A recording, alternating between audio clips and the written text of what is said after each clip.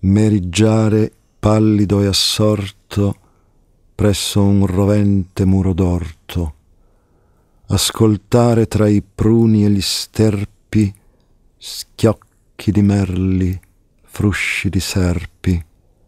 nelle crepe del suolo o sulla veccia spiar le file di rosse formiche ch'ora si rompono ed ora si intrecciano a sommo di minuscole biche. Osservare tra frondi il palpitare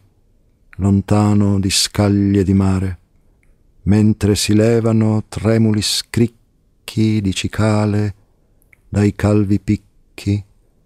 e andando nel sole che abbaglia sentire con triste meraviglia com'è tutta la vita e il suo travaglio in questo seguitare una muraglia che ha in cima cocci aguzzi di bottiglia.